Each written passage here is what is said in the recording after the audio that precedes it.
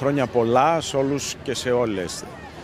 Η εκπαίδευση τιμάει σήμερα τους ήρωες ε, του Δευτέρου Παγκοσμίου Πολέμου, τους ανθρώπους που έδωσαν τη ζωή τους για να είμαστε εμείς σήμερα ελεύθεροι.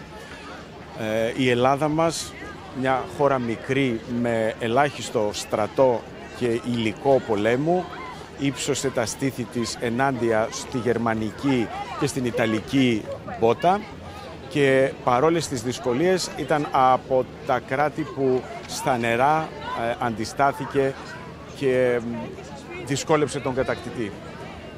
Χαιρόμαστε που κάθε χρόνο τιμούμε τους ήρωες του 1940, να παραδειγματιστούμε από αυτούς και όλοι μαζί σήμερα με ομόνια, συνεργασία να ατενίσουμε το μέλλον ε, βοηθώντας τα παιδιά μας να γίνουν ε, δημοκρατικοί και ενσυναίσθητοι πολίτες αυτής της χώρας.